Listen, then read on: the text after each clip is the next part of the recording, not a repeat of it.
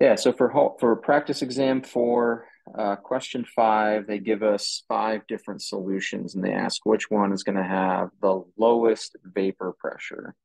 So all solutions have the same molality. So that removes one part of this calculation. They're all one molal. And then I've got some methanol. I've got some acetic acid. I've got uh, some ethanol. And I've got some sodium chloride. And I have some sodium sulfate. So first, this is a little bit tricky because they ask for lowest vapor pressure. And we know that vapor pressure is inversely related to your boiling point. So a lower vapor pressure means we're going to have a higher boiling point. So that's the first thing to write out. Okay, I'm looking for the solution that has the highest boiling point. The highest boiling point means I'll have the lowest vapor pressure, right? The vapor pressure is, you know, how much of your solution is already in the vapor phase over the solution. So if you have a lot of your solution already in the gas phase, it has a high vapor pressure, but that also means it's going to be easy to boil that sample because a lot of it's already in the gas phase. Whereas if you have a, a low amount of your solution, a small amount of your solution in the vapor phase, right? A low vapor pressure, it means it's going to be harder to take your sample from the liquid phase into the gas phase, higher the boiling point. So I'm looking for the solution with the highest boiling point, right? Delta TB equals our Van Hoff factor KB times molality. These are all aqueous solutions. So my change in my boiling point equals my Van Hoff factor, my boiling point constant, 1.86 degrees Celsius per molal times my molality. All of these have a one molal solution. So really, right, we can ignore molality, we can ignore our boiling point constant and just focus on Van Hoff factor, right? My Van Hoff factor, for any molecular compound, my Van Hoff factor is one. So ethanol and methanol have a Van Hoff factor of one. Acetic acid, it ionizes a little bit. We could call it one, we could call it two. It's not going to change the answer here. Sodium chloride also has a Van Hoff factor of two. When we get down here to sodium sulfate, however, sodium sulfate is going to break up into two sodiums and one sulfate. So it has a Van Hoff factor of three. I'm going to have the largest value of I.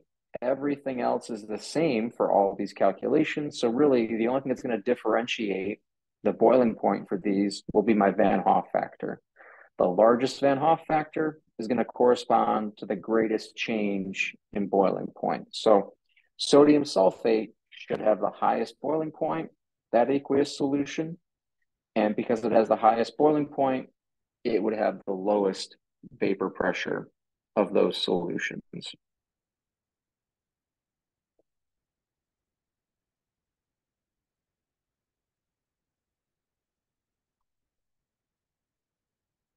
And I misspoke. My my boiling point constant is not 1.86. That's my freezing point uh, constant. The other one's like 0.5. Um, two.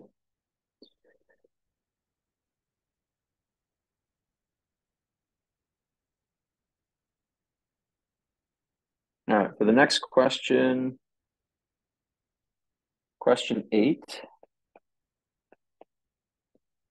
right, lactose is a sugar. Um, so lactose has a Van Hoff factor equal to one, and it asks our freezing point. So my delta TF equals my Van Hoff factor, freezing point constant times my molality. So my change in freezing point equals my Van Hoff factor is one for lactose. It's a molecular compound times my freezing point constant. There's the 1.86 degrees Celsius per molal. And then the molality of this solution is 0.3 molal. We multiply everything together. Molality cancels out.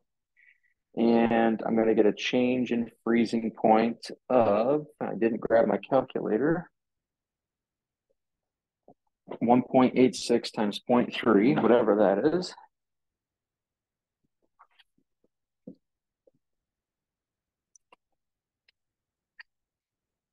Don't worry about grabbing your calculator, Matt. I'll 1.86 times 0.3. So I get a change in freezing point of about 0.558. So my freezing point is going to be like negative um, 0.558 degrees Celsius for this question. Question eight.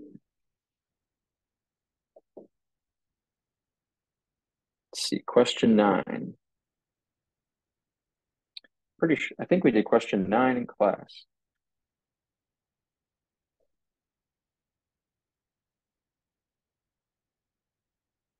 All right, question nine, the aqueous solutions in order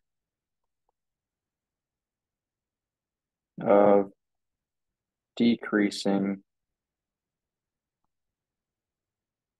freezing point.